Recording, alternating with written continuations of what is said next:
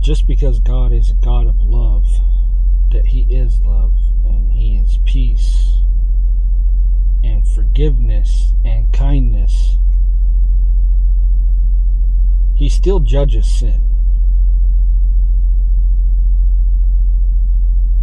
There's a lot of people out there who are, that are preaching just love and forgiveness about everything. you know, they're compromising Christianity altogether. They're compromising the Bible and God altogether. Uh, I don't believe in that.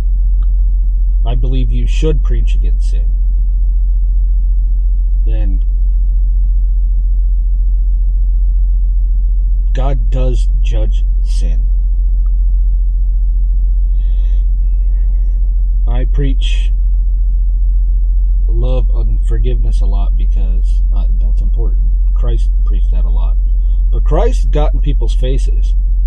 He told them they, they were wrong. He told them, you know, there were tons and tons of people, and he told them that that they should forsake everybody that they know and follow him. And the only and you know your parents and your loved ones and everybody and everybody left and he was stuck with the disciples. And Jesus asked his disciples if they were going to leave too, and, and they said, But where, where should we go? You know, they knew that he was it, and that the only place to go was toward him. So I just wanted to specify that yes, he's a God of love, forgiveness, kindness, peace, all of that, yeah, but he still judges sin. He still has wrath.